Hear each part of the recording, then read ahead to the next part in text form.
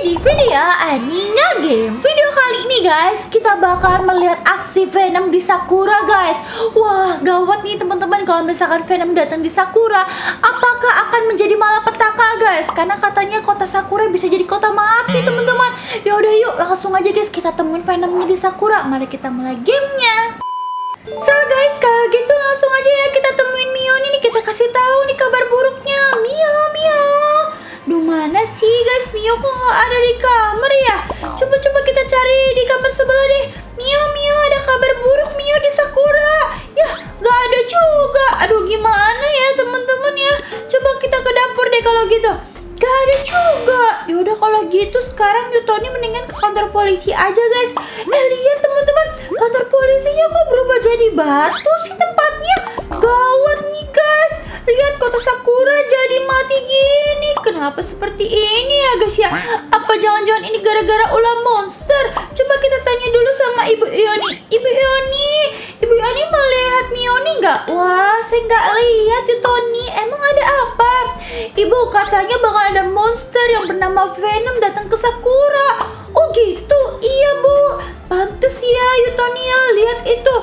kantor ibu jadi beku gini ya? Iya nih kayak semburan Venom deh bu. Ya ampun yaudah kalau gitu. Kamu sama ibu kita cari bareng-bareng ya. Oke oke bu. Naik mobil ibu boleh nggak? Boleh boleh boleh. Tapi kamu nggak bisa bawa mobilnya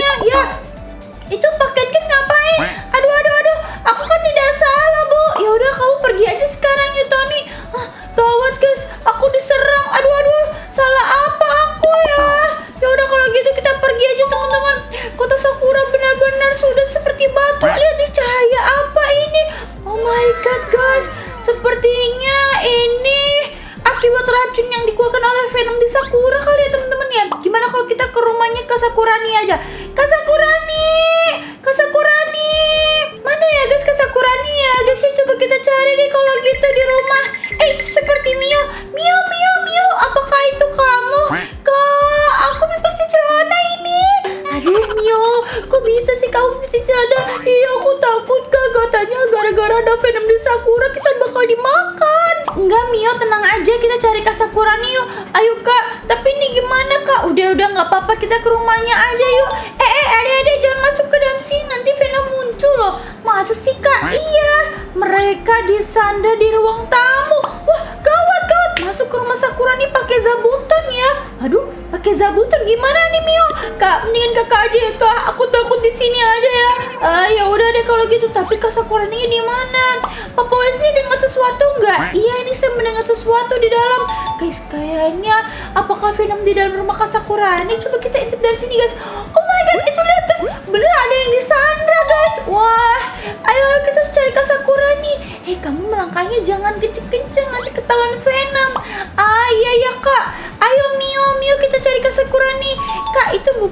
bukan sih Kak Sakura nih. Mana ini? Iya, Kak Sakura nih, Kak Sakura nih. Apakah ini kakak? Eh iya Yutoni. Kamu dari tadi? Iya kak. Kak gawat kak di rumah kakak katanya ada Sandra yang ditahan oleh Venom. Oh gitu Yutoni sama Mioni. Kalian ikut kakak aja kalau gitu. Kak kita mau ke mana? Kita langsung temuin tuh. Tapi kok nggak jalan kak mobilnya? Oh iya ya nggak jalan. Yaudah kalian tunggu di sini aja ya kakak aja lah. Yaudah guys kalau gitu ini Sakura nih udah siap-siap nih guys mau cari nih Venomnya mana ini dah teman-teman. Eh tapi ini ponselnya harus dihilangin dulu ya guys ya. Yaudah kalau gitu Yutoni kamu di sini aja dulu kakak aja ya. Kak aku ikut kak. Ya udah tapi kamu kalau ikut jangan berkelahi ya. Oke oke kak. Lihat Sakura nih itu dia Venomnya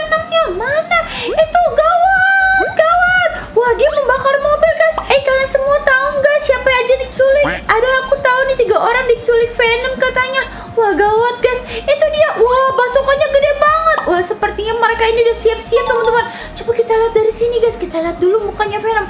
Ah sini Tony seperti apa sih guys? Wah beneran itu dia guys monsternya gawat. Coba nih ya guys ya aku zoom teman-teman.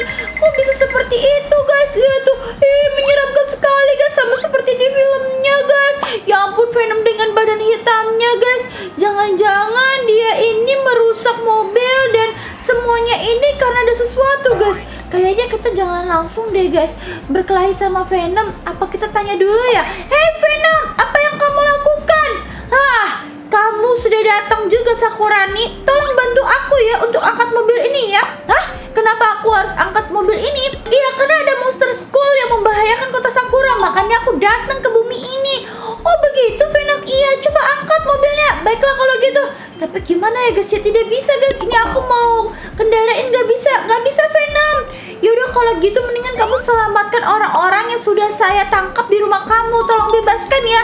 Oh baiklah guys ternyata Venom tidak jahat teman-teman. Yaudah yaudah kalau gitu Papa jangan ditembak ya Pak Venomnya ya Pak. Baiklah kalau gitu jangan jangan jangan ternyata Venom ini menyelamatkan orang guys makanya disandra di rumah aku. Coba kita lihat ya guys ya siapa aja nih yang disandra tapi sebenarnya guys itu lagi diselamatkan kayaknya teman-teman.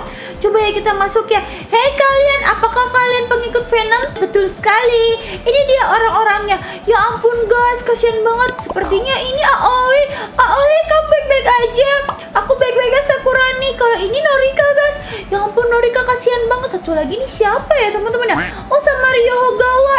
Kalian semua baik-baik aja. Jadi sebenarnya kalian ini disandar oleh Venom bukan sih? Bukan Sakurani. Biar kita jelaskan ya. Yaudah udah kalau gitu coba jelaskan dulu ya. Sekarang aku mau interogasi kalian. Gimana ceritanya? Iya jadi gini Sakurani. Tadi itu ada anak buahnya school yang mau menculik kita. Tapi berkat ada Venom, dia langsung bawa kita ke rumah kamu untuk diselamatkan supaya aman. Oh begitu ceritanya. Wah guys ternyata Venomnya nggak jahat teman-teman. Pantes dia nolong orang tadi. Oh jangan-jangan ini teman-temannya Venom juga kayaknya guys. Coba kita lihat mana ya Venomnya ya guys ya. Yuk kita bilang makasih kalau gitu Venom. Tuh dia guys. Venom Venom terima kasih ya berkat kamu teman-temanku selamat. Hahaha sama-sama ya Sakurani ya. Tolong lindungi kota ini ya. Kalau tidak nanti akan ada monster school yang akan menghancurkan kota ini seperti batu yang kamu lihat sekarang. Oh begitu Venom. Baiklah kalau gitu Venom. Aku akan menjaga kota Sakura ini. Hahaha. Akhirnya aku bisa membantu banyak orang yang ada di Sakura. Wih, keren banget ya guys ya Venom yang ada di Sakura ini. Menurut kalian gimana nih guys?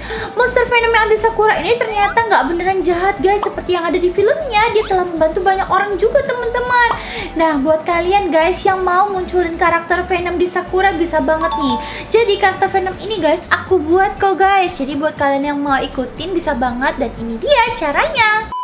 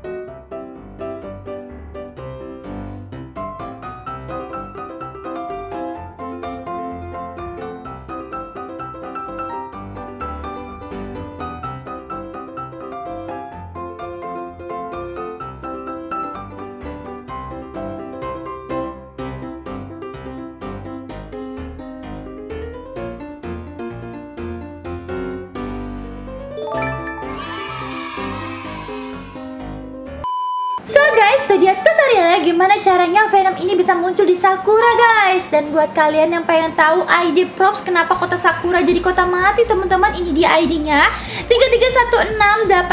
33168045161109 ya guys ya.